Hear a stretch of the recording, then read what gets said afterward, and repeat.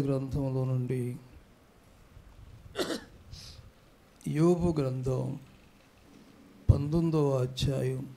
నన్ను సౌండ్ తగ్గించు. పంతొమ్మిదవ అధ్యాయం పదిహేడవ వచనం చదువుదాం. నా ఊపిరి నా భార్యకు అసహ్యము. మరలా అగైన్ నా ఊపిరి నా భార్యకు అసహ్యము. నేను కనిన కుమారులకు నా వాసన అసహ్యము. ఆమె అందరూ చూడండి. యోబు గ్రంథము పంతొమ్మిదవ అధ్యాయం పదిహేడవ వచనం మనం చదివాం. చరిత్ర కలిగినటువంటి వాడు భయభక్తులు కలిగిన వాడు చెడును విసర్జించిన వాడు దేవుని దృష్టిలో నమ్మకమైన వాడు ఆస్తిపరుడు గొప్ప స్థాయి కలిగిన వాడు. తన స్థాయి ఎలా మారింది? ఆ రోజుల్లో తన వైపు చూడటానికి కూడా భయపడేవాళ్ళు. తన దగ్గరికి రావటానికి కూడా భయపడేవాళ్ళు. అలాంటి స్థాయి ఫ్యాన్ తీసేయి. అలాంటి స్థాయి కలిగినటువంటి యోబు ఈ పంతొమ్మిదవ అధ్యాయంలోకి వచ్చేసరికి ఆయన స్థాయి ఆయన స్థితి ఎలా మారిపోయింది? ఇక్కడ రాయబడిన మాట పదహారో వచనంలో చూస్తే నేను నా పనివాడిని పిలిచినప్పుడు వాడేమి పలక్కోకుండా ఉన్నాడు. వాడేమి? పలుకకుండా పలకకుండా అంటే మాట్లాడుకుంటూ ఉన్నాడు. రెండవది నేను వాని బతిమాలవలసి వచ్చాను. ఎవరిని? ఒక మనిషి ఎప్పుడైతే ఆరోగ్యం తగ్గుద్దో? లేదు సంపద తగ్గిపోద్దో? ఆ మనిషి జీవితం ఇదివరకు ఎంత ఉందాతనంగా జీవించినా గడగడలాడించేటువంటి స్థాయి ఇదివరకున్నా ఆ మనిషి జీవితంలో ఎవరన్నా కావచ్చు. పెళ్ళైన కొత్తలో కోడలు మామయ్యను చూసి మామయ్య గారు అంటారు. మీరంతా మంచివాళ్ళమ్మా మామయ్య గారు అంటారు. మామయ్య గారికి ఒక ఎనభై ఐదేళ్ళు వచ్చినాయి అనుకోండి ఎదురు ఉంది ఎవరో కనపడదు ఆయనకి. పొందర సంగతి చెప్తున్నాను. లేవలేరు తన పనులు తాను చేసుకోలేని పరిస్థితి. అప్పుడు ఈ మామయ్య గారు ఏమవుతారు తెలుసా? ముసలోడు అంటారు. ఎవరిని? ముసలోడు ఎవరైనా అవుతారు తప్పుగా?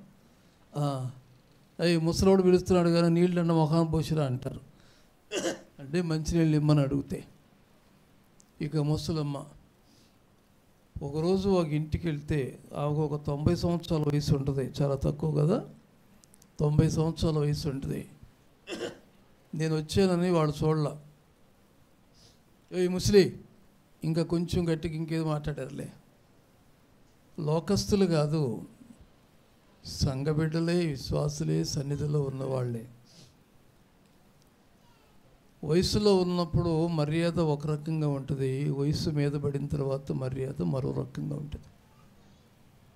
ఆరోగ్యంగా ఉన్నప్పుడు ఒక రకంగా ఉంటుంది. ఆరోగ్యం తగ్గినప్పుడు మనిషికున్న విలువలు తగ్గిపోతాయి. అందుకు ఏబు జీవితమే మనకు సాక్ష్యం.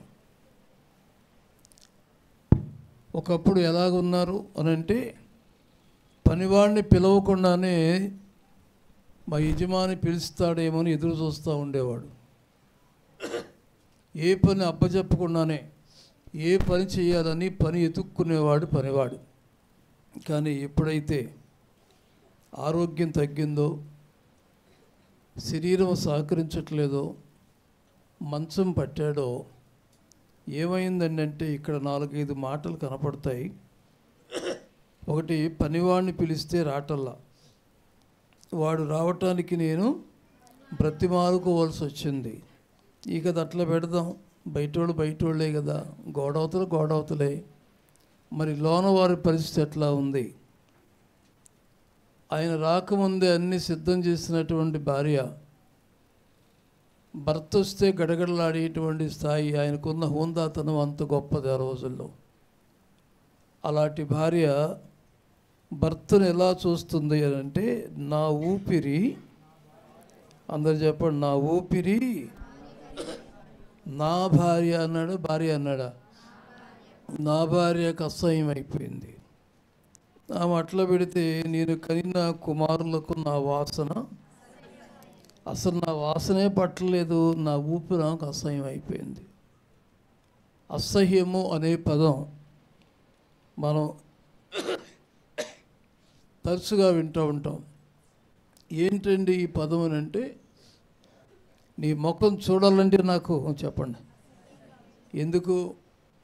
చేయరాంది చేసావు గనక అనరాంది అన్నావు గనక ఛీ నీ ముఖం నాకు చెప్పు గట్టి చెప్పమ్మా. చూపించబాక నీ ముఖం చూడాలంటే పక్కన వాళ్ళు తనబాకాడు కింద కింద చూస్తారు. నీ ముఖం చూడాలంటే అసహ్యం. ఇటువంటి మాటలు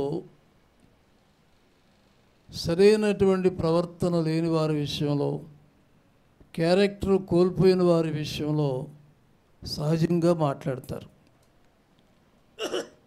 ఆ సమయంలో వారు అలా మాట్లాడ తగును ఎందుకంటే కాజు ఉంది కనుక కారణం ఉంది కనుక మరి ఇక్కడ ఏం జరిగిందండి అని చూస్తే ఆరోగ్యం పోయింది ఒకటి. లేవలేని నిలవలేని పరిస్థితుల్లో ఉన్నాడు. ఎవరైనా అంతేనండి.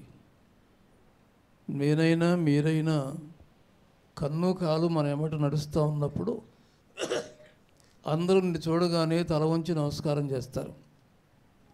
కన్ను కాలు పనిచేయపోతే మంచానికి అంకితం అయితే మనిషికున్న విలువ ఎంత మాత్రం ఉండదంతే ఇక. ఎక్కడో ఉంటారు పురుషులందట అలా ఉంటారు. ఈ సందర్భంలో నాకు రాఘవయ్య గారు కృష్ణలంక రాఘవయ్య గారి జ్ఞాపకం వస్తున్నారు. సుమారు ఇరవై ఐదు సంవత్సరాలు మంచం మీద ఉన్నారు. ఎన్ని సంవత్సరాలు? ఇరవై ఐదు సంవత్సరాల పైన. మా పెళ్ళికి వచ్చారు. చాలా యాక్టివ్గా ఉన్నారు. ఎప్పుడు తెల్లబట్టలు వైట్ అండ్ వైట్ విజయవాడలో ఆ రోజుల్లో పిఎయిట్ కార్లు అంటే చాలా ఫేమస్. పిఎయిట్ కార్ వేసి తిరిగేవాళ్ళు ఆయన ఆ రోజుల్లో. చాలా హుందాతనంగా. కాళేశ్వరి బస్ సర్వీసులు ఉన్నాయి. కాళేశ్వరి కృష్ణ గారు అంటారు. వీళ్ళంతా అన్నదమ్ములే. వీళ్ళంతా చాలా హుందాతనంగా ఉండే వ్యక్తి. నడుము దగ్గర నుంచి కింద భాగం అంతా పనిచేయకుండా పడిపోయింది. ఎక్కడికైనా విదేశాల్లో ఎక్కడికైనా తీసుకెళ్ళడానికి ఎంత ప్రయత్నం చేసినా భూలోకంలోనే వైద్యం లేదన్నారు అంతే. మొత్తం స్మాష్ అయిపోయింది కింద. అలాంటి ఆయన్ని ఇరవై ఐదు సంవత్సరాలు పైగా మంచం మీద తన భార్య విజయలక్ష్మి గారు. ఏనాడు నాకు ఒక కంప్లైంట్ చెప్పలేదు. అక్కడ ఆరాధన జరిగేది కదా. పిల్లలు వచ్చిన తర్వాత కుర్చీలో పట్టుకుని ఆయన కూర్చోబెట్టి పైకి తెచ్చేవాళ్ళు అక్కడ. కొన్ని సంవత్సరాల తరబడి. ఇదిగో అయ్యా బాబాయ్ ఇటు అన్నారు అటు అన్నారు అని మాత్రం ఏనాడు ఆమె కంప్లైంట్ చెప్పలా. వంటూలు అన్నీ కూడా మంచం మీద చేసింది ఆమె. ఎన్ని సంవత్సరాలు? ఇరవై ఐదు సంవత్సరాల పై మాట అలా జరగటం చాలామందికి అరుదు. కొడుకు షిప్ యార్డ్లో చీఫ్ ఇంజనీరు. ఈయనకి బాగాలేదని ఫోన్ చేసిన వెంటనే ఎట్టా వచ్చేసేవాడో కానీ ఆగమేఘాల మీద వచ్చేసేవాడు విజయవాడ వైజాగ్ నుంచి. కావాల్సినన్నీ ఏర్పాటు చేసేవాడు. ఇచ్చిన అమ్మాయి కానీ అబ్బాయి కానీ కోడలు కానీ ఎవరు ఆయన్ని కానీ ఆమెను కానీ ఇటువంటి మాట అన్నట్టు నేను వినలేదు. సాధారణంగా వయసు మీద పడిన తర్వాత కాస్త చేదస్తం పెరుగుద్ది. చెప్పిందే చెప్తారు. చేయిపోయినా సరే చేసినా నువ్వు చేయలేదంటారు. ఇచ్చినా ఇవ్వలేదంటారు అది సహజం. వయసును బట్టి వచ్చే మార్పులు. పెద్దలు మీ ఇంట్లో ఉన్నప్పుడు అత్తమామలు పెద్దవాళ్ళు ఉన్నప్పుడు వారిని గౌరవంగా చూసుకోవాలి. ఈ భార్య కట భర్త వాసన భార్యకు నా ఊపిరి నా భార్యకు నా ఊపిరి అసహ్యం అయిపోయింది. ఇది మనుషులండి. మనుషులు అసహ్యపడేవి ఈ రీతిగా చాలా ఉన్నాయి. నీకు ఉపయోగపడిన వాళ్ళు కనపడితే అనుకోకుండానే నవ్వు వచ్చేస్తుంది వాళ్ళని చూసి మిసిమిసి నవ్వులు నవ్వుతాం. నీకు వ్యతిరేకమైన వాళ్ళు ఎదురొస్తే లేదంటే నీకు ఇష్టం లేని వాళ్ళు ఎదురొస్తే వాళ్ళ ముఖం చూడటానికి కూడా అసహించుకుంటాం మానవ నైజం ఎక్కడ పోద్ది? బాప్తిసం పొందితే ఏంటి? బైబిల్ పట్టుకుంటే ఏంటి? ఆత్మలో ఎగిరితే ఏంటి? ప్రవచనాలు చెబితే ఏంటి? మనిషి జీవితంలో శరీరంలో జీర్ణించిపోయినటువంటి ఈ చెడ్డ తలంపులు చెడ్డ విషయాలు ఎప్పుడైతే పోతాయో అలాంటి వారి విషయంలో దేవుడు వారిని గొప్పగా దీవించబోతున్నాడు. ప్రైజలాడ్ నా భార్యకు నా ఊపిరి అసహ్యమైంది. సరే ఆ కుటుంబ పరిస్థితి అట్లా పెడదాం. సమాజ పరిస్థితి అలా పెడదాం. దేవుడు ఎవరిని చూసి అసహ్యించుకుంటున్నాడో దేవునికి మనిషికి మధ్య ఉన్నటువంటి సంబంధ బాంధవ్యాలు దెబ్బతింటున్నాయి. ఆత్మీయ తగ్గిపోతుంది ఉద్యోగం తగ్గిపోతుంది ప్రేమానురాగాలు కనుచూపు మేరలో కనపడకుండా దూరం అయిపోతున్నాయి ఈ పరిస్థితిలో ఎవరు భక్తిని వాళ్ళు కాపాడుకుంటేనే మనం గమ్యస్థానానికి వెళ్ళగలుగుతాం. దేవుడు నన్ను అసహించుకోకూడదు అని గుండెల మీద ఒక్కసారి పెట్టుకుని అనుకుందామా? దేవుడు నన్ను మైక్లో చెప్పినానా? దేవుడు నన్ను అసహించుకోకూడదు. మీరు గట్టిగా చెప్పట్లేదేంటి? దేవుడు నన్ను అసహించుకోకూడదు. వచ్చేటప్పుడే ఒక గంట ముందే ఆడతో యుద్ధం చేసి వచ్చానంటారు. ఎవరో ఇద్దరు ఉన్నారు ఇక్కడ. మీ ఇంటికాడ గొడవ పడి ఇక్కడికి వచ్చారు ఇప్పుడు. మీకు తెలుసు ఎవరో నాకు తెలుసు ఆత్మలో. నేను మీ ఇంటికి వచ్చి చూడలేదు కానీ ఆత్మదేవుడు బయలుపరుస్తున్నాడు ఆ విషయం. ఇంటికాడ గొడవపడి తాడో పేడో తేల్చుకుంటాను అనే మనసు వచ్చి అలాంటి ఆలోచనతో ఉండి ఇంటికాడ ఉన్నప్పుడు ఆత్మదేవుడు గ్యాలం వేసి ఇక్కడ లాక్కొచ్చాడు. అలాంటి వారు ఇక్కడ ఉన్నారు లేరు అంటే కుదరదు ఉన్నారు. అలా నువ్వు చేస్తే దేవుడు నిన్ను అసహించుకుంటాడు. దేవుడు నిన్ను చూసి ప్రేమించాలి. ఇష్టమైన వాళ్ళు కనపడితే ముఖం మీద ఏవి చిందేస్తుంది? చిరునవ్వు అనండి. చిరునవ్వు చిందేస్తుంది. నిన్ను చూసిన వెంటనే మహాదేవుడు నా బిడ్డ మందిరంలోకి వచ్చింది వచ్చాడని. ఆత్మదేవుడు నీకు కనపడకుండా నిన్ను చూసి ముసిమిసి నవ్వుకోవాలి. స్తోత్రం. పసిబిడ్డలు వచ్చిరా అని మాటలతో మాట్లాడుతూ ఉంటే వారి మాటలు వినటానికి ఎంత దూరంలో మనవడున్నా మనవరాలున్నా తాతమొత్తంలో పరిగెత్తారు. నిజం కాదా? పరిగెత్తారు. అంతే ఆ రిలేషన్షిప్ ఆ బంధం అంత గొప్పదే. దానికంటే అన్నిటికంటే దేవదేవుడు నీకు దేవునికి మనకి దేవునికి ఉన్న బంధము చాలా గొప్పది. దేవుడు నిన్ను నన్ను అసహించుకోకూడదు. ప్రైజలాడ్ దేవుడు ఎవరిని అసహించుకున్నాడో రెండు మూడు మాటలు ఇవ్వారు. వచ్చేవారు మిగతా విషయాలు. కీర్తనల గ్రంథము ఇరవై ఆరవ కీర్తన ఐదవ వచనం. దుష్టుల సంఘము నాకు అసహ్యము. మరలా చదువు తల్లి. దుష్టుల సంఘము నాకు అసహ్యము. అలా కాదు. దుష్టుల సంఘము. దుష్టుల సంఘము నాకు అసహ్యము. అది ఏ సంఘం ఇది? దుష్టుల సంఘం. ఏ సంఘం? దుష్టుల సంఘం. సమాజంలో సంఘాలు అనబడినవి పదిహేను ఉన్నాయి. ఎన్ని ఉన్నాయి చెప్పండి? పదిహేను ఉన్నాయి. ఈ పదిహేనులో పదమూడవది ఏంటంటే దేవుని సంఘం. ఆమె ఎవరి సంఘం? దేవుని సంఘం. ఇక పద్నాలుగో చూస్తే దుష్టుల సంఘం. ఏ సంఘం? గడి చెప్పండి. దుష్టుల సంఘం. వాక్యం సెలవిస్తున్న మాట ఏంటంటే దుష్టులకు విజయము కొద్ది కాలం ఉండును. ఎంతకాలం? నీరో చక్రవర్తిని చరిత్ర దుష్టుడు అంది. ఆది సంఘమును ఆర్పుటకు ఎంచి దుష్ట నీరు అధిపతి చెలరేగి గర్వించే చెలరేగి గర్వించాడు.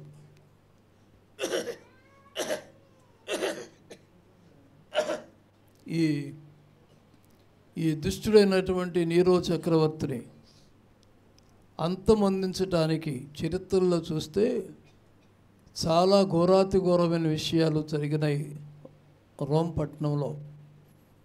డెబ్భై వేల మంది యూదులు ఒకేసారి ఊచకోత కుయ్యబడ్డారు. అంటే చంపబడ్డారు. ఈ చంపబడిన వారి రక్తం సైడ్ కాలువల్లో నీరులాగా రక్తం ప్రవహించింది ఏడి డెబ్భై సంవత్సరంలో. ప్రవచనం నెరవేర్చబడటానికి ఇరుషలేము ప్రాకారాలు కూల్చబడ్డాయి దేవాలయం కూలిపోయింది రాతి మీద రాయి నిలిచి ఉన్న రోజు రాబోతుందన్నారు. అలాగే మొత్తం అన్నీ కూడా కూల్చబడ్డాయి అప్పుడు. అందుకని చరిత్ర ఏముందంటే నీరో చక్రవర్తి అనేవాడు ఒక దుష్టుడు. చెప్పండి? ఒక దుష్టుడు. దుష్టుల సంఘం. ఇరవై అధ్యాయం చూడండి యోబు గ్రంథంలోనే నాలుగో వచ్చిన ఇంత చెప్పిన మాట చదవండి. దుష్టులకు విజయము కొద్ది కాలం ఉండును. భక్తిహీనులకు సంతోషము ఒక నిమిషం మాత్రం ఉండును దుష్టులకు విజయము కొద్ది కాలం. భక్తిహీనులకు సంతోషం ఒక నిమిషం మాత్రం ఉండును. నిమిషం. ఈ హీనులు? భక్తిహీనులు అంటే భక్తి లేని వాళ్ళు దుష్టులు అంటే చెడ్డ పనులు చేసేటువంటి వాళ్ళు. వారు ఎవరు? పరిశుద్ధ గ్రంథంలో లూకాసు వార్త చూడండి. ఇరవై రెండవ అధ్యాయం మూడో వచనం. మరొకళ్ళు కీర్తనల గ్రంథము మొదటి కీర్తన తీసి ఉంచండి అంతటా పన్నెండు మంది శిష్యుల సంఖ్యలో చేరిన ఇస్కరియోతి అనబడిన యూదాలో సాతాను ప్రవేశించెను. ఎవరు ప్రవేశించారు? సాతాను ప్రవేశ సాతాను ప్రవేశించెను. సాతాను ఎప్పుడైతే ఇస్కరయోత యోధాలో ప్రవేశించారో తనలో ఉన్న సహజమైన మంచితనం అంతా కూడా కోల్పోయాడు. వాక్యం సెలవిస్తుంది ప్రసంగి గ్రంథంలో మనుషులట మంచివారినిగా పుట్టించను. దేవదేవుడు చెప్పండి. మంచివారిగా పుట్టించాడు. మంచివారిగా పుట్టిస్తే తర్వాత వాళ్ళు ఏం చేశారు? ఈ విధమైన తంత్రములు కల్పించుకుని చెడిపోయారు. దేవుడు చెడ్డవాళ్ళగా పుట్టించలేదు. అందరినీ మంచివారిగానే ఆయన పోలికలో పుట్టించాడు. లోకంలో శత్రువు అనేటువంటి వాడు ఒకడున్నాడు దుష్టుడు. మత్తైసు వార్త పదమూడు అధ్యాయంలో చూస్తే గోధుమలు జరిగిన చేలో గురుగులు జల్లిపోయాడు. ఈ రెండు పెరిగినాయి. ఏంటిదంటే అక్కడ రాయబడిన మాట ఇది శత్రువు చేసిన పని శత్రువు చేసిన పని. మంచి వాళ్ళని చెడగొట్టే తంత్రం వాడి దగ్గర ఉంది. ఎవరిని చెడగొట్టాడో ఏమిటి అంటే ముఖ్యంగా ఈ దుష్టుడు అనేటువంటి వ్యక్తి దగ్గర ఏముందనగా అహం. నేను చెప్పండి. నేను నాకంటే ఎవ్వరు గొప్పోళ్ళు కాదు. నాకంటే ఎవ్వరు పాటలు పాడలేరు మీరు కదలే. ఎవ్వరు పాటలు పాడలేరు. నాకంటే అదేంటో ఇట్టెట్ అంటారు ఎవ్వరు వాయిద్యాలు వాంచలేరు నాకంటే ప్రార్థన ఎవరూ చేయలేరు. అంటే అందరికంటే మన పిల్లల పాడతతో నేనే అన్నట్టుగా ఈ దుష్టుడు అనే వాళ్ళలో ఉన్నది అహం. వీడికి ఒక సంఘం ఉంది. ఎవరి సంఘం ఇది? ఈ దుష్టుల సంఘంలో సభ్యులు ఒకసారి చూద్దామా? మొదటి కీర్తనలోకి రండి. మొదటి కీర్తన మొదటి వచ్చిన రెండో వచ్చినాం దుష్టుల ఆలోచన చొప్పున నడువక? ఈ ఆలోచన? దుష్టుల ఆలోచన. దుష్టుడు ఉందా? దుష్టులానుందా? దుష్టుల. మరి దుష్టులు అంటే ఎక్కువ మంది ఉన్నట్టే కదా. వాడికి తగినటువంటి వాళ్ళు వాడుకున్నారు. వారి సంఖ్య చెబితే ముప్పై మూడున్నర కోట్ల పైన అంటారు. వారి సంఘం యొక్క సంఖ్య ఎంత? ముప్పై మూడున్నర కోట్ల పైగా ఉంది వారి సంఘం. ఈ సంఘం చేసే పని ఏంటి అంటే ఎవరు ప్రార్థన చేస్తారో వాళ్ళు పడగొట్టాలి. సద్భక్తితో బ్రతకను ఉద్దేశించు వారందరూ హింస పొందుదురు. ఎలాగైనా పడగొట్టాలి. భార్యాభర్తలు ఇద్దరు విశ్వాసులుగా సన్నిధిలో నడుస్తున్నప్పుడు వారానికి రెండు సార్లైనా పోటాడుకుంటారు నిజమైతే ఆమెనండి. నిజం కాదా? వారానికి రెండు సార్లైనా పోటాడుకుంటారు అయిపోయినా? మీ ఇద్దరి మధ్య మీ కుటుంబంలోకి ఇడి వచ్చాడు ఆ సంఘంలో లాక్కెళ్ళటాకి ఈ సంఘంలోకి దుష్టుల సంఘంలోకి లాక్కెళ్ళటాకి ఇక లాభం లేదనుకుంటే రేజ్ చేస్తాడు. వాహన రేజ్ చేసినట్టుగా ఆమెను ఆయన్ను రేజ్ చేస్తాడు. ఆ వంటదిక ఛీ నీ ముఖం నేను పోయేదాకా చూడకుండా ఎట్టుంటావు? పోయిన తర్వాత కూడా చూడాలిగా? అంటాడు. ఆ తర్వాత ఆయన కూడా అంటాడు చెయ్యి నిన్ను కట్టుకున్నా దాన్ని కట్టుకుంటే ఎట్ట బాగుండేది అంటాడు. ఇక బయలుదేరింది ఇద్దాం అర్థమైందా? నీ భర్త ముందు ఎవరి పేరు ఎత్తబాక? నీ భార్య ముందు ఎవరి పేరు ఎత్తబాక? లంకా దహనమే. ఇక అంతే. అనుమానాలు పుట్ట పావులన్న పోతాయం కానీ ఈ పుట్ట మాత్రం తగ్గదు ఇక అంతే. పరిశుద్ధ గ్రంథంలో ఈ పరిస్థితులే బాగా విషమయంగా మారిపోయినాయి. దుష్టుల ఆలోచన చప్పున. ఈ దుష్టులు అనేటువంటి వాళ్ళు వారు చేసే పని ఏంటి అని అంటే ఇస్తేరు గ్రంథంలో చూడండి. ఇస్తేరు గ్రంథము ఆరవ అధ్యాయం.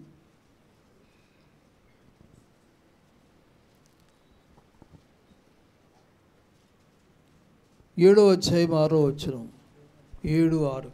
ఎస్తేరు ఆ. మా విరోధియకు ఆ ప- పగవాడు దుష్టుడైన ఈ హామానే అనెను. విరోధియగు పగవాడు దుష్టుడైన ఈ హామానే అనేను దుష్టుడైన హామానే.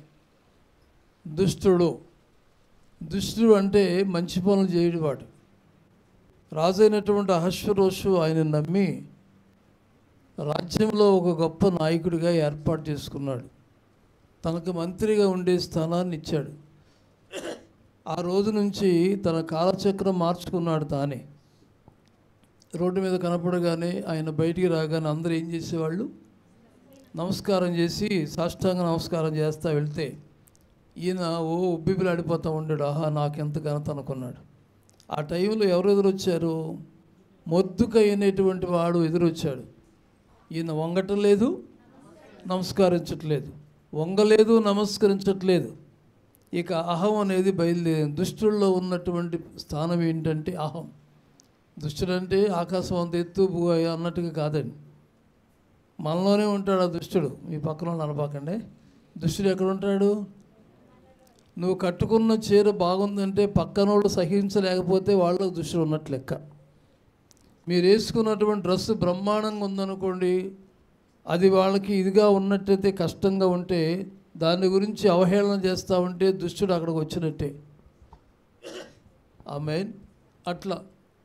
ఎదుటివారి స్థాయిని చూసి సహించలేడు దుష్టుడు.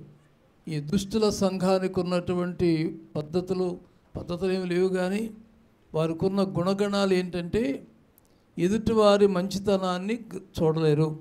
రెండు వారి ఉన్నత స్థాయిని వారు గ్రహించి కూడా అది తట్టుకోలేరు.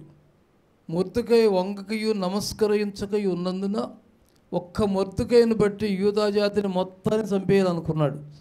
ఈ రాజుగారి దగ్గరికి వెళ్ళాడు. ఆ రాజుగారు గుడ్డోడు చెవిటోడు తెలియదు కానీ ఈయన అడగంగానే ముద్రేసేసాడు ఎవరికి? ఆధారణ మాసంలో ఈ తారీఖున స్త్రీలేమి పిల్లలేమి యవనస్తులేమి వృద్ధులేమి మొత్తం చంపేయాలన్నాడు. ఈ రాజుగారు ఏ మూడులో ఉన్నాడో కానీ ముద్రేసేసాడు రాజ ముద్రేస్తే ఎవరో కూడా దాన్ని ఆపటానికి వీలు లేదు. ఈ ముద్ర పడింది. ప్రజలందరూ అల్లాడిపోతున్నారు. చావు టైం దగ్గరికి వచ్చింది ఇస్తేరు దేవునితో మాట్లాడటం మొదలుపెట్టింది. ఆమె అది మర్మయుక్తంగా ఉంది. ముద్దకై కూడా దేవునితో కనిపెట్ట మొదలుపెట్టి ఇస్తేరు దగ్గరికి వెళ్తాడు. ఏమమ్మా మీ ఆయన ముద్రేశాడంట కాస్త మీ ఆయనతో మాట్లాడంటాడు. ఏమంటది ఆయన నేను మాట్లాడుకుని ముప్పై రోజులు అయిందంటది.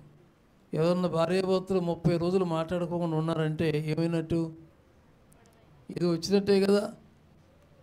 ఆ రోజుల్లో భార్య దగ్గరికి భర్త రావాలన్నా భర్త దగ్గరికి భార్య రావాలన్నా అంటే రాజుల దగ్గర విషయంలో ఆయనకు ఒక దండం ఉంటుంది. అంటే ఉంగరం లాంటిది. ఇలా చూపించాలి. చూపిస్తే ఆహా నా భర్త ఈ పూట రమ్మన్నాడు అని అక్కడికి వెళ్ళి కూర్చొని మాట్లాడచ్చు. అలాంటివి జరగక ముప్పై రోజులైంది. నేనేమీ చేయలేనని ఏమి ఎత్తేసింది? చేతులు ఎత్తేసింది. మొద్దుకై చాలా రోషం గలవాడు. ఈ సమయమందును మౌనంగా ఉంటే యూదులకు సహాయమును విడుదలయో మరియు దిక్కు నుండి వస్తుంది. అమ్మాయి దుష్టుల సంఘములో చేరిపోయాడు ఈ దుష్టుడైన హామాన్. ప్రజలందరినీ దుష్టులుగా చేశాడు. దుష్టుడు కోరేది ఏంటంటే హింస. చెప్పండి? హింస. బైబిల్ కోరేది ఏంటంటే అహింస. చెప్పండి? కొట్టారా? పడు. నేను అన్నారా పడు సహించిన వారైతే మీరు ధన్యులు. సహించిన వారైతే ఇది బైబిల్ చెప్పే సత్యం. దేవుని వాక్యంలో హింసకు తావులేదు క్షమించు. ఫర్గివ్నెస్ లైఫ్ అంతా కూడా అంతే. క్షమించు క్షమించు. ఈ దుష్టుడైనటువంటి ఈ హామాను రకరకాలుగా ప్రయత్నం చేశాడు. మద్దుకై కనిపెట్టాడు. ఒకరోజు వచ్చింది. రాజుగారు భోజనాన్ని పిలిచాడు ఎవరిని పిలిచాడంటే హామాన్ని పిలిచాడు. వీడికి ఎక్కడ ఆగట్లేక రాజుగారి దగ్గర కూర్చొని నేను పూజ చేయటం అనుకున్నాడు. ఇస్తేరు రమ్మన్నాడు. ఇస్తేరు గారు అక్కడే ఉంది. అసలు ఏంటి చెప్పు? రాజు గణపరచ ఉద్దేశించిన వాడిని ఏం చేయాలను అంటే ఇతను అనుకున్నాడు ఈ దుష్టుడు నన్ను గాక ఇంకెవరిని అనుకుని రాజుగారు ఎక్కే గుర్రం మీద వేశాడు. రాజుగారు పెట్టుకునే కిరీటం మీద వేశాడు. రాజుగారి ముందు డంపుకు మోగిస్తారు కదా అటువంటి వాళ్ళు రావాలన్నాడు. అయ్యా యూదులు అనబడిన వారందరూ కూడా హింసింపడుతున్నారు ఇది పరిస్థితి అని రాజుగారి దగ్గరికి వెళ్ళినటువంటి ఈ ఎస్తేరు ఇది చూసారా? వీలు సాలు చూసుకుని మాట్లాడాలి. ప్రతిసారి డప్పు మోగిస్తే కుదరదు. పద్దాగా అబ్బాయి లేకుండా నువ్వు ప్రార్థన రావరు అట్టయిపోతావు అని అనుకున్నాడు అసలు వాడి మూడు చూడండి వాడి మూమెంట్ చూడండి. ఇంటాడు భర్త అయినా భార్య అయినా పిల్లలైనా. ఎప్పుడు చెవిలో ఇల్లు కట్టుకుని వాగినంత మాత్రాన నీ నోరు నొప్పే కానీ దానివల్ల ప్రయోజనం లేదు. ఇస్తేరు వీలుసులు చూసింది. అవకాశం కొరకు కనిపెట్టింది. వెంటనే రాజుగారి దగ్గర సమస్యల మూట విప్పింది. ఇంత పనిచేసిన వాడు ఎవరు అంటే? హామాన్ అని చెప్పలా? దుష్టుడైన ఈ హామాన్ అని చెప్పింది. ఏం పేరు పెట్టింది? ఏం బిరుదిచ్చింది దుష్టుడు. దుష్టులు మంచి పని చెయ్యరు దుష్టులు దుష్కార్యాలే చేస్తారు. అందుకే రాయబడింది వాక్యంలో దుష్టులకు విజయము. ఎన్నో ఎన్నో ప్రభుత్వాలు మారినాయి. బ్రిటిష్ వారు ఆ వైస్రాయ్ కాలంలో భారతదేశంలో వ్యాపారం కోసం వచ్చారు. సముద్రాలమ్మడి తిరుగుతా తిరుగుతా. కొంకణి భాష నేర్చుకున్నారు. గోవా వెళ్ళారు. అక్కడ చాలా నిధులున్నాయి చూశారు. భారతదేశం మొత్తం కూడా తిరిగారు. వారికి కావలసిన మూడే మూడు పదార్థాలు. ఒకటి ఏంటంటే స్పైసెస్. అంటే లవంగాయలు ఏమైనా చూసారా అది వాళ్ళ దేశంలో దొరకవు. కాబట్టి వీటిని బాగా మనం సమకూర్చుకుని వ్యాపారం చేస్తే మన దేశం చాలా పెద్దవాళ్ళు అయిపోతాం అనుకుని ఈ స్పైసెస్ ఎక్కడ దొరుకుతాయో మొత్తం కూడా వాళ్ళు గ్యాదర్ చేసి అన్నీ కూడా స్టాక్ పెట్టి విదేశాలకు వ్యాపారం చేశారు రెండోది ఏంటంటే రాగి. ఆ దేశంలో వాళ్ళకి రాగి అనేది అసలు దొరకదు. రాగి గన్లు మనకు ఉన్నాయి తర్వాత సిల్వర్ గోల్డ్. ఇటువంటి అన్నీ కూడా ఎక్కడెక్కడ ఉంటాయో మొత్తం కూడా వాళ్ళు తన ఆధీనంలోకి తీసుకుని ఓడల్లో ఎక్కించి వ్యాపారం చేశారు. ఇక చాలా గొప్పవాళ్ళు అయిపోయారు. డబ్బు బాగా వచ్చింది. భారతదేశంలో లేనటువంటి డబ్బు ఈ బ్రిటిష్ వారి దగ్గరికి వచ్చింది. ఇక అంతే. తిరుగుబాటు చేశారు తుపాకులు పట్టారు. భారతదేశం ఆ రోజుల్లో అటు ఒక రాజు ఇటు ఒక రాజు ఇటు ఒక రాజు ఇటు ఒక రాజు. కృష్ణా జిల్లాలో ముగ్గురు నాయకులు ఉండేవాళ్ళు. ఒకళ్ళేమో చల్లపల్లి కేంద్రంగా చేశారు. ఇంకొకళ్ళేమో నూజివేడిని కేంద్రంగా చేశారు. అటు చూస్తేనేమో కృష్ణా బ్యారేజ్ లేదు కదా. అటు చూస్తే పల్నాడు ఏరియాలో అక్కడొకళ్ళు ఉన్నారు. ఇటు చూస్తే ఇక అనేక ప్రాంతాల్లో చాలా చోట్ల విజయనగరంలో ఒకరు ఇప్పుడు అశోక్ గజపతి రాజు గారి ఫ్యామిలీ అటు నుంచి గజపతి నగరం దగ్గరికి వెళితే ఇంకా లోపలికి వెళితే ఇప్పుడు మంత్రి మంత్రి వారి ఇద్దరు ఎమ్మెల్యే అయ్యాడు నాయన బేబీ నాయన ఏ నాయన? బేబీ నాయన బొబ్బిలి అది రాజుల కుటుంబం. ఇలాగూ ఒక్కొక్క ఏరియాలో ఒక్కొక్కళ్ళు రాజులుగా ఒక దేశంలో ఒక ప్రాంతంలో ఇలా ఉన్నారన్న భారతదేశం. వీరందరూ కూడా ఏం చేశారని అంటే వారికి లొంగిపోయిన పరిస్థితి వచ్చింది ఇక. రాజులు కప్పము చెల్లించుట అనేది ఇలా భారతదేశంలో విజయలక్ష్మీపురం మ్యాచ్ ఫ్యాక్టరీ అని మైసూర్లో మాచవరం డౌన్ అనేది ఒకటి ఉంది. నాకు తెలుసు వెళ్ళాను. ఆ ఏరియా మొత్తం కూడా అది మైసూరు రాజా ఆధీనంలో ఉండేది. ఇవన్నీ ఇక దేశంలో చరిత్రలన్నీ మనం చూస్తే ఈ బ్రిటిష్ వారు ఎక్కడ నాయకులు ఉన్నారో ఎక్కడ రాజులు ఉన్నారో వాళ్ళందరినీ కూడా పట్టేశారు. ఈ రీతిగా భారతదేశాన్ని అతలాకుతలం చేశారు. ఎందుకు చేశారండి అంటే ఇక్కడ ఉన్న సంపదలను దూసుకెళ్తా చేశారనేది చరిత్ర చెప్పే సత్యం. ఇక ఆ నోట ఆ నోట యువతరం పెరిగింది పెద్దవాళ్ళు అయ్యారు అందులో క్విట్ ఇండియా ఉద్యమం వచ్చింది గాంధీ గారు ఒక పక్కన వచ్చారు ఝాన్సీ లక్ష్మీబాయి ఒక పక్కన వచ్చారు అల్లూరి చెప్పండి. సీతారామరాజు గారు తూర్పుగోదావరి జిల్లా నుంచి వచ్చారు. ఇటు నుంచి ఇటు నుంచి అందరూ కూడా మొత్తం వచ్చేసారు ఇలాగూ పరిపాలన చేసినటువంటి వాళ్ళు ఆ పరిపాలనలో కొంతవరకు దేశానికి మేలే చేశారు. ఆ ప్ర పరిపాలన ఉన్నప్పుడే కాటన్ దొర వచ్చాడు ఏ దొర. కాటన్ దొర సరాబ్దర్ కాటర్ అంటారు. ఆయన చాలా గొప్ప మేధావి. ఆయనే ఏం కట్టాడు? రాజమండ్రి దగ్గర? ఇంకొచ్చో గట్టిగా. గట్టిగా చెప్పండి. గోదావరి బ్రిడ్జి కట్టాడు అక్కడ. దాని తర్వాత అటు ఇటు అటు ఇటు కట్టారు. ఆయన మొత్తం ఎక్కడెక్కడో కొండల మీదకి వెళ్ళిపోయి గుర్రం మీద మీరు వెళ్తే ఆ గుర్రం కూడా అక్కడే కనపడద్దు బొమ్మ. ఆ గుర్రం మీద ఆయన అట్ట కూర్చునే కనపడతాడు రాజమండ్రి దగ్గర. స్తోత్రం. ఈ రీతిగా వారు మంచి చేశాడో చెడు చేశారో తర్వాత విషయం కానీ కొన్ని వందల సుమారు నాలుగు వందల యాభై సంవత్సరాలు అయిన తర్వాత భారతదేశంలో తిరుగుబాటు ప్రారంభమైంది. ఇదంతా ఎందుకు చెప్తున్నానంటే దుష్టులకు విజయము కొద్ది కాలమే. అది శాశ్వతం కాదు. దుష్టుల సంఘము అంతమైపోద్ది. దుష్ట ఆలోచనలు చెడిపోతాయి. దుష్ట ఆలోచనలు ఏది నిలవదు. సామెతల్లో రాయబడింది ఎవడునో తరమకుండానే దుష్టుడు పారిపోతాడు. దుష్టుల సంఘము దేవునికి అసహ్యమో. ఒకటి. నెంబర్ టూ రెండో చూడండి. కీర్తనల గ్రంథంలో నూట పంతొమ్మిదవ కీర్తన నూట అరవై మూడవ వచనం. అబద్ధము నాకు అసహ్యము. ఏది అసహ్యం? అబద్ధము. ఒకటి దేవుడు అసహ్యపడేది ఏమిటి? గట్టిగా. దుష్టుల సంఘాన్న దేవుని సంఘాన్న. సంఘంలోకి మనం వచ్చిన తర్వాత ఆరాధనలో మనం ఉన్న తర్వాత పిండ్రప్ సైలెంట్. మహాదేవుడు మనతో మాట్లాడటానికి దేవుడు అల్లరికి కర్తకాడు ప్రశాంతంగా ఉండాలి. ఇక్కడికి వచ్చిన తర్వాత మన బాధలన్నీ మర్చిపోవాలి. మన సమస్యలన్నీ మర్చిపోవాలి. దేవుని మీదే మన మనసు పూర్తిగా నిలపాలి. అప్పుడు ఆ సంఘాన్ని బట్టి దేవుడు సంతోషిస్తాడు. అదే దుష్టుల సంఘం అయితే ఏముంటుంది? కప్పలు తక్కిలాగా ఉంటుంది. కప్పలు తీసుకెళ్ళి తక్కిట్లో పెట్టగలుగుతామా దానికి ఏ జబ్బు? దూకే జబ్బు చెప్పండి. అది కంట్రోల్గా ఉండదు.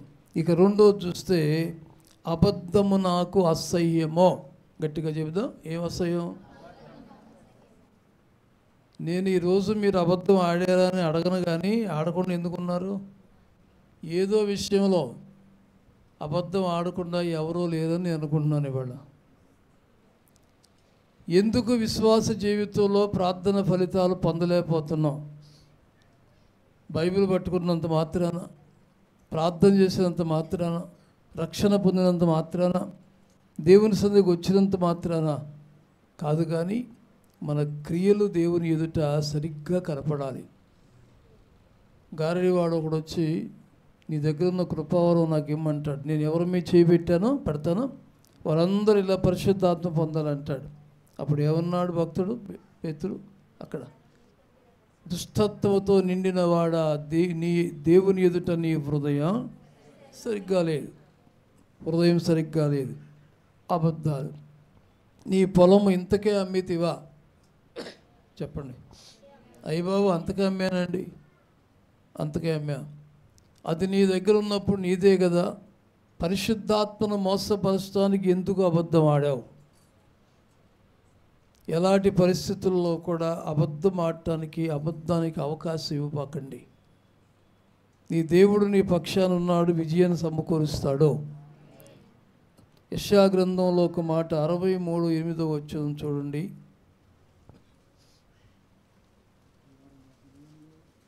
అరవై మూడు ఎనిమిదో వచ్చును వారు నా జనులనియు. వారు నా జనులనియు. అబద్ధం ఆడమ ఆడనేరని పిల్లలనియు. ఈ వాడు నేర్న వాళ్ళు? అబద్ధములు ఆడనేరని పిల్లలనియు. అబద్ధము నాడలేరని పిల్లలనియు అనుకుని ఆయన వారికి రక్షకుడు ఆయను ఆమె దేవుని పిల్లలంటే ఏంటి? అబద్ధాలకు దూరంగా ఉన్నవాళ్ళు.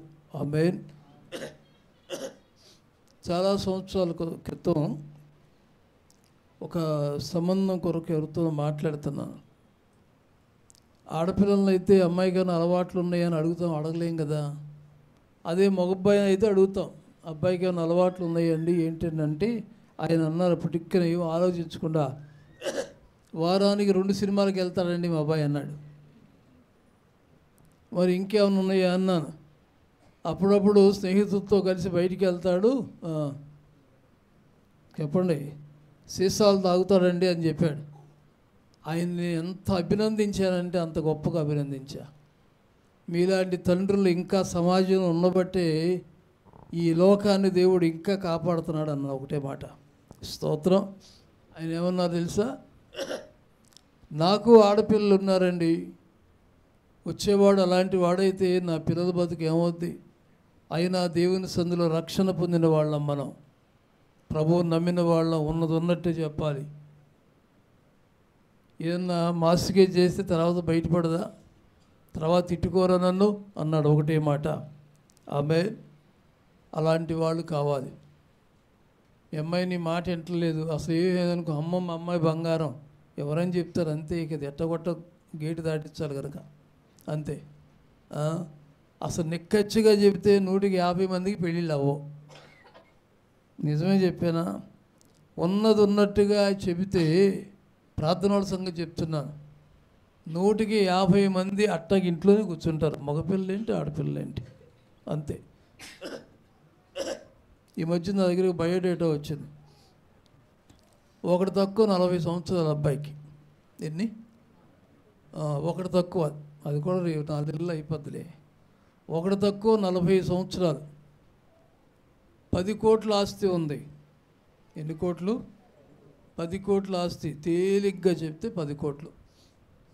అవతల ఆయన నాతో మాట్లాడుతూ అబ్బాయి చాలా మంచివాడండి యోగ్యుడండి అన్నాను. నేను ఒకటే ఒకటి అడిగాను. మీరు చెప్పే మాటలు చాలా బాగున్నాయండి. కానీ నలభై సంవత్సరాల వయసు వచ్చేంత వరకు ఆ అబ్బాయి ఎందుకు పెళ్ళి చేసుకోలేదు? ఒకే మాట అడిగాను. ఆ మాటకు అటు నుంచి సరైన ఆన్సర్ రాక ఆఖరికి అన్నాడు అబ్బాయి మోసపోయాడండి అన్నాడు. ఏం పోయాడు? నువ్వంటే నాకు ఇష్టం అందంట ఒక అమ్మాయి. ఈయన కూడా అదే అన్నాడు నువ్వంటే నాకు కూడా ఇష్టం అన్నాడు. ఈలోపు ఈ అమ్మాయి సింగపూర్ వెళ్ళిపోయింది. సింగపూర్ వెళ్ళిపోయి జాబ్ వచ్చింది. రెండున్నర లక్షల నెలకు జీతం అంట. ఎంత? రెండున్నర లక్షలు. నేను వస్తాను వస్తాను వస్తాను వస్తాను ఐదు సంవత్సరాలు జరిపింది. ఈయన గారు ఎదురు చూస్తాను ఉన్నాడు ఆ పొండి ఇప్పుడు రాలిపోద్ది అన్నట్టుగా. ఆమె రాదాయే ఈయనకి పెళ్ళి అవుతాయి.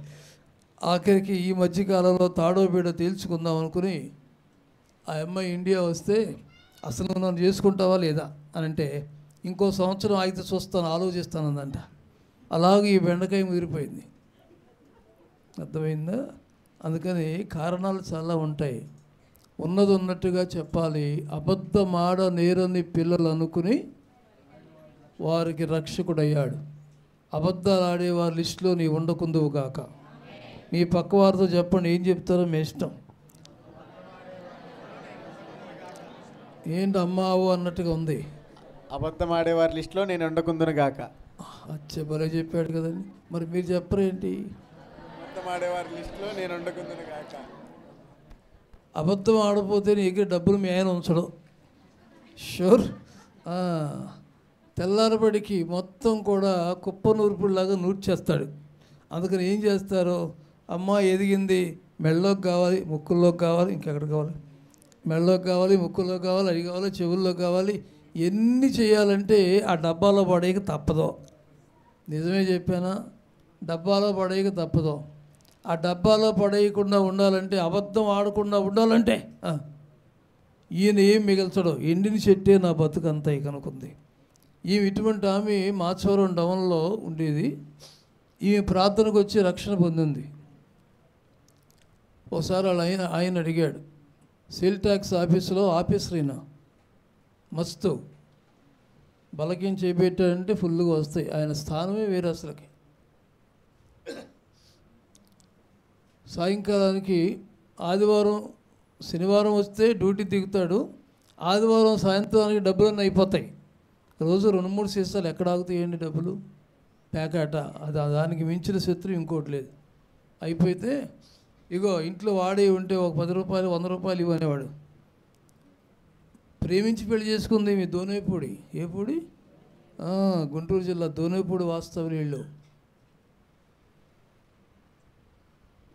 ప్రేమించేసుకున్నారని ఆ ప్రేమతో పాపం ఆయన అడిగినప్పుడల్లా డబ్బులు ఇస్తుంది ఇక ఇవి ఎప్పుడైతే రక్షణ పొందిందో ఇగో డబ్బులు అంటే ఉన్నయి కానీ నేను మీకు ఇవ్వను అందంట. అదేంటి ఉన్నయి కానీ? ఇవ్వనంటావు ఏంటంటే ఇదివరకు నేను లోకస్తురాలని పూజలు చేసేదాన్ని ఇప్పుడు నేను ప్రార్థన చేస్తున్నా. అందుకనే ఉన్నది ఉన్నబట్టి చెప్పన్నాడు మా పాస్టర్ గారు. అక్కడ పెట్టింది తీసుకెళ్ళి ఆయన్ని. ఈ రెండు సీసాలు వేసుకుని ఆయన మీదకి వెళ్ళాలి ఇక. మా పాస్టర్ గారు అబద్ధం ఆడొద్దని చెప్పారు. అందుకనే ఉన్నాయి కానీ నీకేమనుంది? ఇంకొక ఆమె. మీరేమనుకోబాకండి కానీ లీటర్ పాలు ఐదున్నరకు అమ్మేది. ఆ రోజుల్లో సంగతి ఇప్పుడు కాదులేండి. ఇప్పుడు అడగబాకండి. లీటర్ పాలు ఎంత? బయట పది రూపాయలు ఉన్నాయి ప్యూర్ మిల్క్. పది రూపాయలు ఉంటే ఇవి ఐదున్నరకి ఇచ్చేది.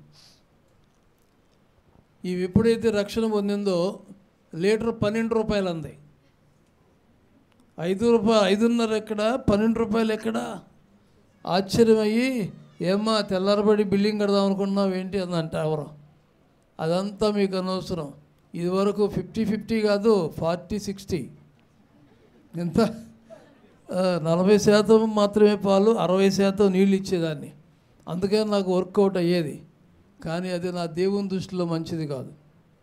వేరు వేరు తూనికరాళ్ళు యహోవాకు హేయములో ఉన్నది ఉన్నట్టుగా చెప్పాలి. ఉన్నది ఉన్నట్టుగా చేయాలి. అబద్ధం ఆడేవారంటే మోసం చేసేవారంటే దేవునికి అసహ్యుల వాళ్ళు. నేను ఎంత అయితే నేను ఇస్తానండి లేదా కుదరదు. పన్నెండు రూపాయలకి పాలు అందరూ ఇదివరకు వచ్చేవాళ్ళు సరిగ్గా వచ్చేవాళ్ళు కాదు పోసుకెళ్ళేవాళ్ళు కాదు. కానీ ఇప్పుడు క్యూ కట్టారట. నీ పాలు బ్రహ్మాండంగా ఉన్నాయమ్మా. ఆ యస్సు ప్రభు మతంలోకి వెళ్ళావు పాలు కూడా మారిపోయినాయి. నువ్వు కాదు ఎవరు మారిని పాలు కూడా మారిపోయినాయి అని పన్నెండు రూపాయలకు అమ్మింది. ఆ దెబ్బతో రెండో గీతను కొనేసింది. ఇదివరకు ఎన్ని సంవత్సరాలు చేసినా సరే ఆ గీత అంతే. అదే కానుకోవాలి. అది అంతే ఇప్పుడు అంతే. దొడ్డు పెరిగింది ఆదాయం పెరిగింది. ఒక్కసారి నిజాయితీగా ఉండి చూడండి ఇక నుంచి. అబద్ధం ఆడకుండా జాగ్రత్త పడండి. అభివృద్ధి తప్పగా చూస్తారు. ఆమె నీ ఇష్టం వచ్చినట్టుగా అబద్ధం ఆడి ఏదో చేసి ఇంతకే అమ్మేవా ఫలితం ఏంటి? మరణం. ఇంతకే అమ్మేవా మరణం? ఎందుకు నవ్వుతున్నావు నువ్వు? అని అడిగాడు దేవుడు ఒక ఆమెని ఏమేముంది అమ్మాయి నేను నవ్వలేదు నవ్వలేదు నవ్వలేదు. అబద్ధం ఆడిందా లేదా? నువ్వు నవ్వావు నేను చూశాను. ఆ పేరేంటి చెప్పండి. ఎవరు అడిగారు? అబ్రామా సృష్టికర్తల దేవుడు అడిగాడు. మనం చేసేవన్నీ ఆయనకి తెలియకుండా ఏముండవండి మొత్తం తెలుసు దేవునికి. నువ్వేం ఆడుతున్నావో ఏం చేస్తున్నావో అన్నీ తెలుసు. అలా అబద్ధం ఆడి ఎంత సంపాదించావు? అలా అబద్ధం ఆడి మోసం చేసి ఎంత పైకి వచ్చావు ఉండదు. నీతిమంతుని కలిగింది కొంచెమైనను బహుమంది ధనవంతులకు దానికంటే సమృద్ధిగా ఉంటుంది. అందుకనే అబద్ధమునకు దూరంగా ఉండాలి. అబద్ధానికి జనకుడు అపవాది మోసానికి జనకుడు అపవాది. ఇక మూడోది ఆఖరి మాట. సామెతల గ్రంథం ఎనిమిదవ అధ్యాయం ఏడవ వచనం. నా నోరు సత్యమైన మాటలు పలుకును. దుష్టత్వము నా పెదవులకు అసహ్యము. ఏత్తము దుష్టత్వం అంటే నీతిమత్వం అనేది నీతిగా జీవించటం. దుష్టత్వం అంటే మోసం చేయటం. వాళ్ళని కొట్టి వీళ్ళకి ఇవ్వటం వీళ్ళ కొట్టి వాళ్ళకి ఇవ్వటం. అక్కడి నుంచి లాక్కొచ్చి ఇటు ఇటు అంతే ఇక. దుష్టత్వము దుష్టత్వం. ఒకసారి ఒక ఆయన కింద మందిరి ఉన్నప్పుడు చిన్న మందిరి ఉన్నప్పుడు ఒక ఆయన వచ్చారు. పాస్టర్ గారండి నేను చాలా మోసపోయాను. నన్ను మోసం చేసిన వాడు మామూలుడు కాదు విజయవాడలో డాను అని చెప్పాడు. పేరు చెప్పనులే. విజయవాడలో ఒక డాను నన్ను మోసం చేశాడు. నాకున్నటువంటి రెండు బిల్డింగులు అర్ధరాత్రి కాడ జీబు వేసుకొచ్చి జీబులోకి నన్ను లాగేసి సాధారణంగా పట్టపగల రిజిస్ట్రేషన్ చేస్తారు. మరి డాన్లు కదా? అర్ధరాత్రి కాడ రిజిస్ట్రేషన్ ఆఫీస్కి వెళ్ళి రిజిస్ట్రేషన్ ఆఫీస్ తాళం దించారు ఇప్పుడు ఉన్న ఆఫీసే. తాళం దించి నా చేత సంతకం పెట్టి పో అన్నారు అంతే ఐదు కోట్లు ఇప్పుడు ఇప్పుడు చెప్పాలంటే ఇది చాలా కోట్లు ఉంటుంది ఆస్తి అది. వేలు ఇచ్చారు చేతికి అంతే కోట్ల ఆస్తి తీసుకుని వేలు చేతిలో పెట్టి నీ దిక్కున్న కాడ బలవంతులండి వేశారు.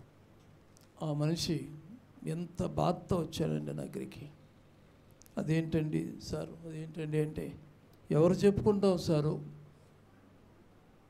అవే చేన్ని మేసేస్తూ ఉంటే దాన్ని ఎవరు కాపాడతారండి ఇంకా? కేసు పెట్టాను పోలీసులు రాలేదండి. భయపడిపోయారండి వాళ్ళకి అర్ధరేత్రిగా రిజిస్టార్ వచ్చి ముద్రేసేసాడండి. నా ఆస్తి అంత వెళ్ళిపోయిందండి. అవి ఎక్కడ ఉన్నాయి కూడా నాకు తెలుసు ఇప్పుడు. అవి ఉన్నాయి అక్కడ. ఎవరు దీని వెనకాలంటే ఫలానా డాన్ అన్నారు. ఎక్కువ రోజులు లేరు.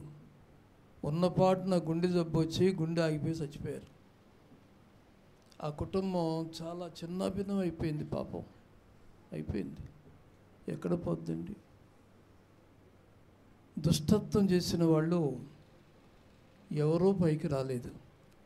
అత్త కోళ్ళిద్దరు పోటాడుకున్నారు కోడలంటే భర్త చనిపోయాడు. ఈ ఇద్దరు మిగిలింది ఇద్దరు ఎదవరాళ్ళే మిగిలారు. ఈ ఎదవరాళ్ళు ఇద్దరు కోర్టులో సుమారు ఒక పది సంవత్సరాలు కోర్టులో పడేసింది కోళ్ళు. వీరు రోడ్లో పెద్ద సైటు చిన్నది కాదు చాలా పెద్ద సైటు ఉంది.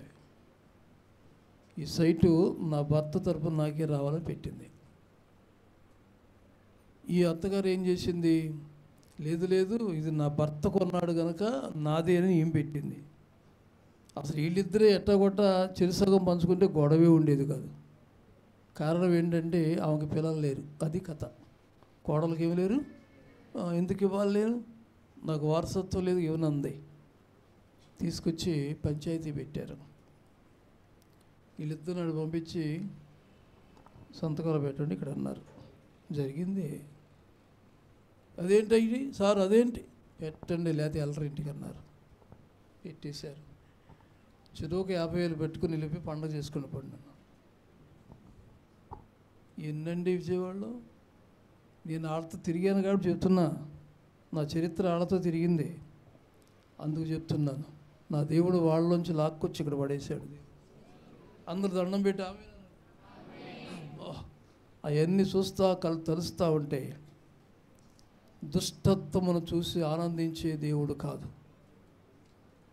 ఆ తర్వాత ఒకరి తర్వాత ఒకరి తర్వాత ఒకరి తర్వాత కృష్ణలంక మొదలుకుని బందర్ రోడ్డు మొదలుకుని ఏలూరు రోడ్డు వరకు ఐదు సంవత్సరాల్లో ఎనిమిది మంది చచ్చిపోయారు. వెళ్ళిపోయారు. ఏంటండి పరిస్థితి? ఏమీ లేదండి అన్నారు. ఒకసారి నాకు ఫోన్ కాల్ వచ్చింది. ఏంటి తమ్ముడు చేసావన్నా? అన్నయ్య ఫలానా వాళ్ళు ఇంటికాడ అయిపోయారు అన్నయ్య అన్నాడు. అదేంటయ్యా హాస్పిటల్కి వెళ్ళలేదా? వెళ్ళే టైం కూడా లేదన్నయ్య హార్ట్ అటాక్ సివియర్గా వచ్చింది. కార్డియాక్ అరెస్ట్ అన్నారు. సివియర్గా వచ్చింది అయిపోయాడు అన్నయ్య. ఇంకోసారి ఒక ఆయన ఫోన్ చేశాడు. ఏంటి తమ్ముడు? అన్నాను. ఇది పరిస్థితి అన్నయ్య అన్నాడు. ఏం చేస్తాం మనం? జాగ్రత్త అండి. మనం నీతిమంతుని పిల్లలం. ఒకటి చెప్పండి. నీతిమంతుని పిల్లలం. నీతివంతుని పిల్లలట విడవబడరట ఆ పిల్లలు భిక్షం ఎత్తుకోరు దేవుని కొరకు నమ్మకంగా జీవిద్దాం. దేవుడు నిన్ను నన్ను చూసి అసహించుకోకూడదు. ఆమె నీకు ఏది కలిగుందో దాంతోనే బతుకు. దేవుడు దాన్నే ఆ ఉన్న బిడ్డలో సీసాలో ఉన్న నూనె పెంచాడా? పక్కింటికి తెచ్చుకోమన్నాడా? పక్కింటి కాడ నుంచి ఖాళీ డబ్బాలు తెచ్చుకో ఖాళీ పాత్రలో. ఈ నూనె నేను అభివృద్ధి పరుస్తాను నీ దగ్గర ఉన్న కూర్తే ఉన్నాయండి. బుడ్డిలో కొంచెం నూనె తొట్టిలో కొంచెం పిండి. దాన్ని ఇంప్రూవ్ చేశాడు దేవుడు. నీ ఆదాయాన్ని పెంచుతాడు. నీ జీతమే పెరిగిపోద్ది. స్తోత్రం. మనుషులు ఒక మార్గాన్ని మోస్తే నీ కొరకు దేవుడు ఏడు దారులు తెరవబోతున్నాడు. వాళ్ళకి ఏదో ఉందో నాకు లేదు అనుకోబాక దేవుడు నన్ను చూసి అసహించుకోకూడదు. దుష్టుల సంగమును అసహించుకుంటాడు. నెంబర్ టూ అబద్ధములాడే వారిని దేవుడు అసహించుకుంటాడు. మూడు గట్టిగా దుష్టత్వమును చూసి నీవు ఆనందించు దేవుడవు కాదు. దుష్టత్వం చేసిన వాళ్ళు చాలామంది ఉన్నారు. వారు జయించింది ఏమీ లేదు. విజయవాడలో ఏళ్ళ మీద లెక్క పెట్టవచ్చు. ఎవరు విజయాన్ని పొందలేదు. ఎవరూ వారు లాక్కున్న దాంతో సంతోషంగా లేరుగాక లేరు. లేరండి. ఎవరికి వాళ్ళు వాళ్ళ పరిస్థితులు అయిపోయినాయి. బ్రిటిష్ వాళ్ళు ఏం చేశారు? మరలా భారతదేశం తిరిగి చూసారా దుష్టులకు విజయం కొద్ది కాలమే. నీ మీద ఎవరైనా ఇది చేస్తున్నారా? అది వాళ్ళ టైం. అలా పైకి వెళ్ళినటువంటి అలా పైనే ఉండదో? మరి కింద పడద్దే. నీ దేవుడు నీకు నీ పక్షాన ఉంటాడు. దేవుడు మనను చూసి ఆనందించేవాడిగా ఉండాలి. అలా ఉంటే మన జీవితాలకు డోకా లేదు. అట్టి కృపతో దేవదేవుడు నింపునుగాక. అమేన్ అమేన్ పాట పాడండి.